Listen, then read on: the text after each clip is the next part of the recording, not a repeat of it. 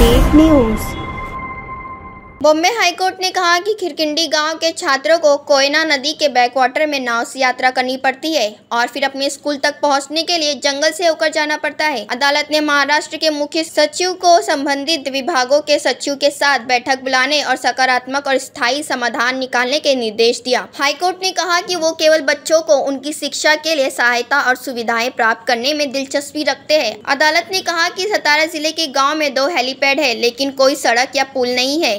न्यायमूर्ति वर्ले ने कहा कि हमें कुछ गाँवों में हेलीपैड से कोई आपत्ति नहीं है, लेकिन साथ ही हम बच्चों के लिए स्कूल या कॉलेज जाने की उनकी शिक्षा पूरी करने और समाज की मदद करने के लिए अच्छी सड़कें भी देखना चाहते हैं। उन्होंने कहा कि हम केवल ये चाहते हैं कि राज्य सरकार सकारात्मक कदम उठाए और जो भी संभव हो, वो करे और स्थायी समाधान निकाले। स्पीड न्यूज़, रहे सबसे आगे।